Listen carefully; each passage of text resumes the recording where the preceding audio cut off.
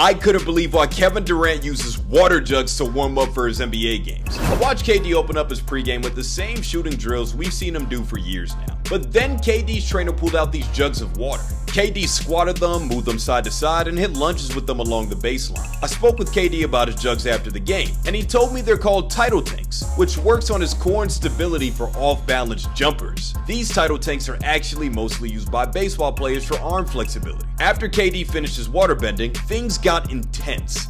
KD went into his dribble drills, cashed out on mid-range J's, and then hit these crazy one-legged shots and squat jump shots. Bradley Beal photobombed him here, but we still saw KD's famous spin jumpers and the rest of his off-balance techniques he practices before every game.